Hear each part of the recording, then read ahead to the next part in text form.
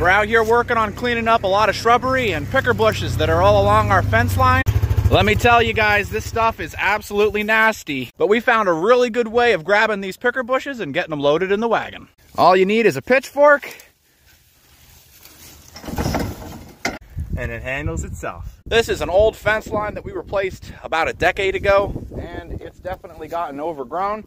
So we're working on cleaning out a lot of the big shrubbery to make room for the rotary chopper, which can come through and clean it up nice.